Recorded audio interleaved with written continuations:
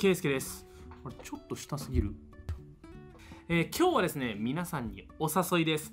コーヒーをおうちコーヒーを始めませんかというのをお誘いしたく動画を撮っています。まあ本当はねあの今日みたいにね暑い日に言うもんじゃないとは思ったんですけどもだって今日30度ですよ。もうちょっとねさっきね半袖でコンビニ行くぐらいでもうもう汗かいちゃうぐらい暑くてで帰ってきてこういうねコーヒー作って飲んでもうあのすげえ汗だらだらで結局冷房つけちゃいました。まあそんだけねぐーっと気温もあったかくなりはしましたけどもコーヒーの面白さっていうのはもうほんとね、えー、四季四季、えー、と春夏秋冬いつでも変わらないかなと思ってます。まあ夏はあの冷たいコーヒー飲めばいいだけの話だし、えー、冬はね温かいコーヒー飲みたいなというところででやっぱりですねなんだろう自分がこうコーヒーにハマった分皆さんにもねその魅力を伝えたいなと思い始めました。もうほんとね12年前は僕もねインスタントコーヒーしか飲まなかったですよ。そんなドリップコーヒーなんてやってなかったですけどもいつの間にかここ本当に12年で、えー、ドリップコーヒーにグッとはまってほぼ毎日豆をひいて、えー、入れて自分で入れて、えー、飲んでます。で本当なんとなくハードルが高いとか思ってる人とかもいると思うんですけども全然そんなことなくてもう最初ね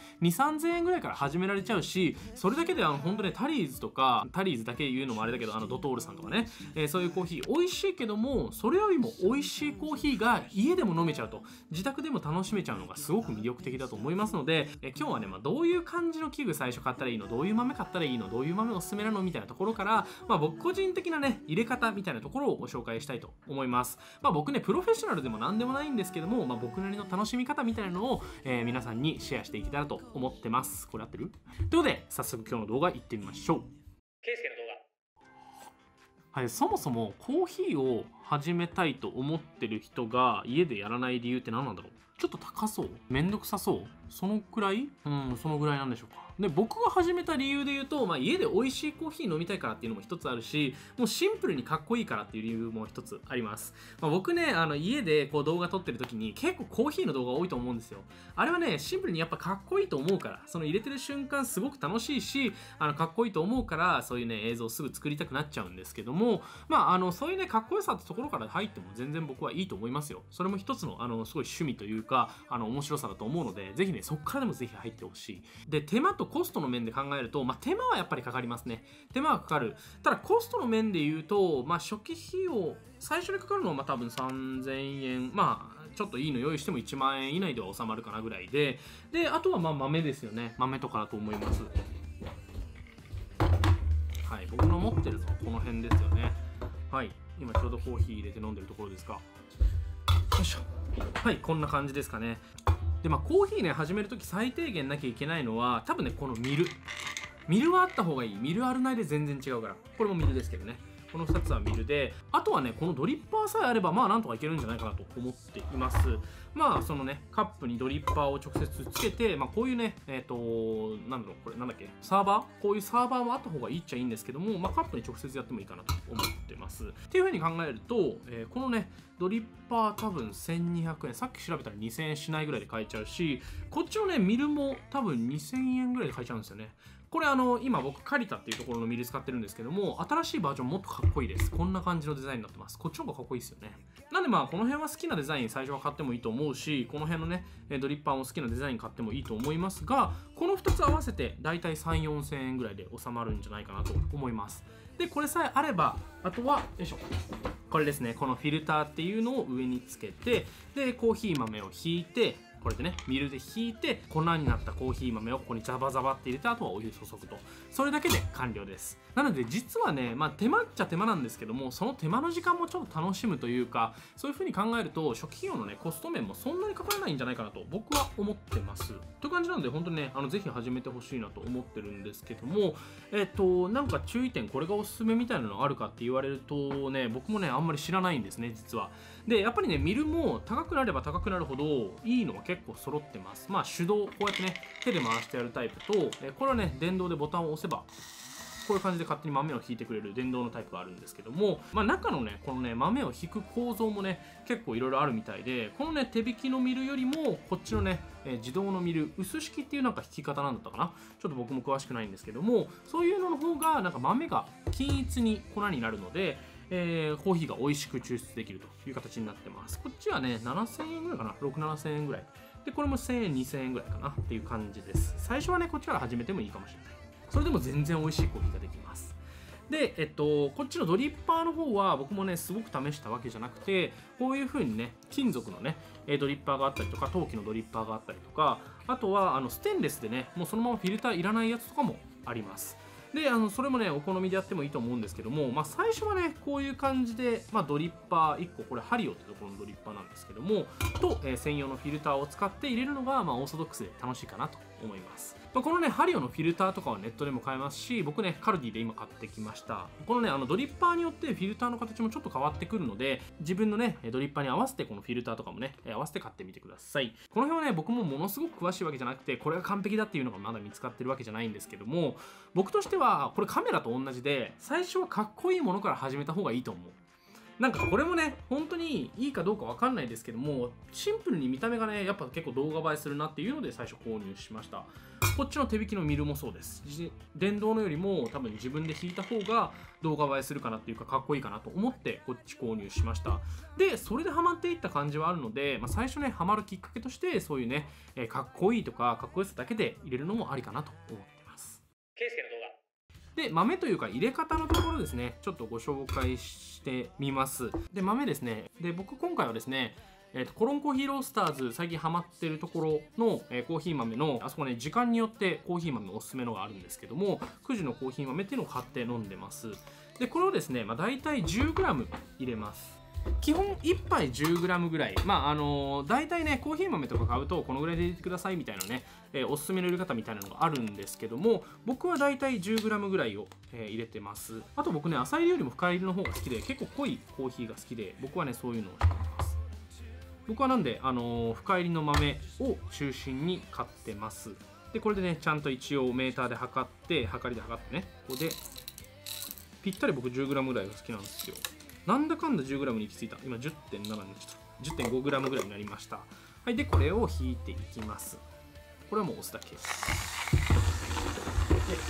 であの僕ねこのね電子ケトルこれねビタントニオっていうメーカーのアクティっていう電子ケトル。1万円ぐらいの電子ケトルなんですけどもこれね温度が調整できる機能がついてる電子ケトルでえおすすめです、まあ、最初ね夜間とかで沸かしてもいいかもしれないんですけどもあのコーヒーってこのね抽出するお湯の温度でめちゃくちゃ味が変わるので最初は普通に夜間のお湯で飲んでみてそこからまたねいろんな温度試してみるとあこんな違うんだっていう発見があるのでそこもすごく面白いポイントです。であとお水ね。僕あのこの南アルプスの天然水結構好きで入れてるんですけどもこのね香水とか軟水とかで結構ねコーヒーの味変わるらしいです。で僕前まで水道水とかで入れたんですけどもやっぱりねあのこういうちゃんとミネラルウォーターにしてからかなり味変わったなっていう感じがします。なのでまあ最近はこのね南アルプスの天然水で入れてます。はいこの電子ケトルの場合はこれね温度が調節できるので僕ね94度で入れてます。ここがね、なんかね、コーヒーに結構いいって噂を聞いて、94でずっと入れてますね。まあ、今のところ94は当たってるなという印象です。はい、で、ゴリゴリ引いていきます。はい、お湯が沸いて、こっちの豆を引き終わりました。ということで、えこれをね、実際に入れていこうと思います。もう本当に簡単で、一応ね、豆、こんな感じになりました。こんな感じです。これを、えー、このね、ドリッパーのフィルターのところにこうやって入れていきます。で、鳴らしてで時間計っときます。大体ね最初ねあのお湯をちょびっとだけ入れてえっと20秒30秒蒸すんですって。そうすると美味しいらしい、はい、ちょっと。こんな感じでねここでぷくっと膨れてくんのよ。これわこもっちゃった。こんな感じです。このぷくっとね膨れてくんのが可愛いんです。で2 3 0秒経ったらあとはゆっくりお湯を注いでいくだけ大体 10g で 130ml から 150ml まあコップちょっと少なめ1杯分ぐらいですねが出ます。でこれでもねこのあのサーバーってやつだとちゃんとここまでが1杯ですよって書いてくれてるのでこれで大体僕は目安として入れています。結構小分けにしてこうやってなんか入れるのに最近ハマってますね。この前のなんか別の動画でも話したんですけど大阪のところになんかなんだっけブルーマウンテンを 250g ぐらい入れてでそれをね1時間かけて抽出するみたいなお店の話をしてたんですけどもそこからねちょっとゆっくりコーヒーを入れるっていうところにはまってまして今ねそれで、ね、ちょっとゆっくりゆっくり1回ずつの量を減らしながら入れたりしてます。こういうね入れ方によっても結構ね味変わるんですよ。あのどんな入れ方でも美味しいんですよ。ベースどんな入れ方でも美味しいんだけどなんか甘みが増したりとかあとなんだろうな甘みだけじゃなくてなんか酸味がちょっと強くなったりとかそういったね変化が出るのが毎回毎回コーヒーのすごく面白いところだなと思います。ほんと水でも違ったら温度でも違うし入れ方でも違うと。で豆の引き方でも違うと。そういうのがすごくねあの面白いところです。毎回毎回ね変化が見れるっていうのが本当に面白いですね。で一応今回ねこのペーパードリップっていうのをやってるんですけどもあのコーヒーはですね他にもいろんな入れ方があって例えばフレンチプレスっていうねコーヒー器具だったりとか、まあ、みんな聞いたことあるかもしれないけどサイフォンとかね。えー、そういうのあんまりサイフォン家でやる人いないと思うんですけどサイフォンとか、えーと、あとエアロプレスとかそういういろんな方法もあります。でエアロプレスとかだったら確かねアイスコーヒーもそのままねこういうコーヒー豆、えー、から出せるので僕もねあの夏は好きで使ってましたがなんかねエアロプレスのなんか1個器具がなくなっちゃってまた新しく買い直さなきゃいけなくなっちゃいました。それもね3、4000円ぐらいで買えちゃうのでそれ1個あっても面白いかもしれないですね。こんな感じでコーヒーが溜まったら上のねドリッパー紙の部分だけ捨ててきます。よいしょ。いしょ。ペーパードリップは後で洗わずにねそのペーパーだけポイって捨てちゃえば終わるのが一番いいですね。なんかすごく手間がなくて嬉しいです。このコーヒーあと入れたら完成です。あー美味しい。うん。非常に美味しいです。はい、まあ、こんな感じでね、僕ね、普段コーヒーを入れてますので、あの、ほんとね、いつもインスタントコーヒー飲んでるって方は、全然味も違うし、全然ね、なんかやってみての、こう、なんだろう、充実感というか、あの、楽しさっていうのもね、倍増するので、ぜひね、こういうのから始めてみてほしいなと思ってます。僕のね、使ってる器具とかは概要欄の方に載っけておくので、そこからチェックしてみてください。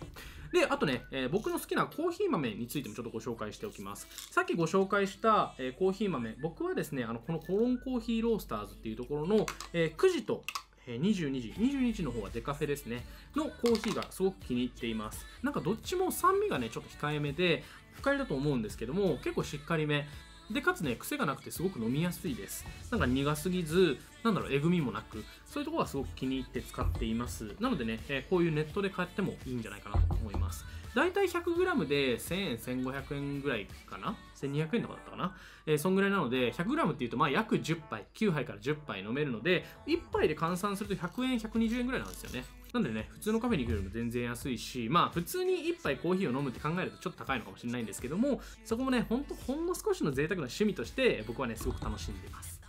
で、あと気に入ってるコーヒー豆ちょっと今手元にないんですけども、えドレスコーヒーっていうね、えー、ところのコーヒー豆はすごく気に入ってます。そこもですね、まあ朝朝コーヒー、夜コーヒー、昼コーヒーとかあるんですけども、僕は結構ね、そこの朝コーヒーがすごく好きで、あの、朝入りなんですけども、なんか酸味がキリッとしてて、朝気持ちよく目覚められるような感じがします。そういうね、あの、朝入り系って結構酸味が緩くなったりするんですけども、あの、僕は結構好みぐらいのあの酸味の量なので、結構ドレスコーヒーのね、そういう朝入りのやつは好みで飲んでいます。あと本当にね、街のコーヒー屋さんとかで、あの、試しにいろいろコーヒーを買ってみて 100g ぐらいから買えるのでね、ぜひそういうので試してみてもいいんじゃないかなと思います。本当にね、そういう豆は好みで良いと思いますので、ぜひね、あの、一回コーヒーね、こういうの飲んでみてほしいな。なんかインスタントコーヒーじゃなくて、なんか一緒にね、こういうコーヒーおすすめだよとか、そういうのをね、なんかたまにコメントもらうとか、すごく、あの、嬉しいです。なので、まあ、ぜひね、今までコーヒーあんまり、あの、家で飲んでこなかったよって方は、試してみていただけると嬉しいです。ということで、今回はちょっとゆるっと、えー、コーヒーの話題。まあ、僕がね、最近コーヒーすごくハマってるのと、あとはね、コメント欄でもコーヒーのご紹介、えー、お待ちしてますみたいなね、